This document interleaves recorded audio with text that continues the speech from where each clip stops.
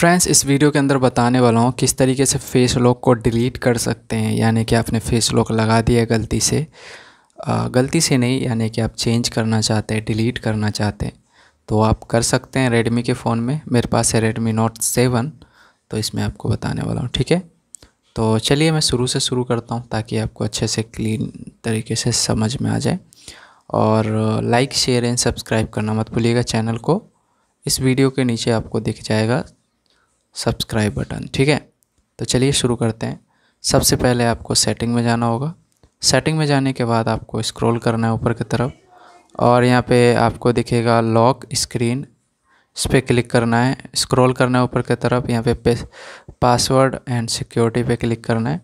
Click करने के बाद आपको सबसे ऊपर में आपको दिखेगा फेस लॉक। तो इस पर क्लिक करना है। सॉरी, मैंने इस पर क्लिक कर दिया। फेस लॉक पे क्लिक करेंगे और आपका पासवर्ड होगा वो डालेंगे और इसको यहाँ से डिलीट का ऑप्शन आ जाएगा। इस पर क्लिक करेंगे तो यहाँ भी डिलीट का ऑप्शन आ जाएगा तो इस पर क्लिक कर देना है। अब आपका जो फेस लॉक है वो रिमूव हो चुका है। देख सकते हैं फेस लॉक लगाना कैसे?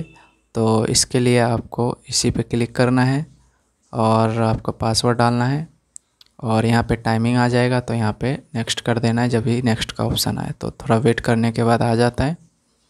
उसके बाद नेक्स्ट कीजिए और अपना फेस लगा लीजिए।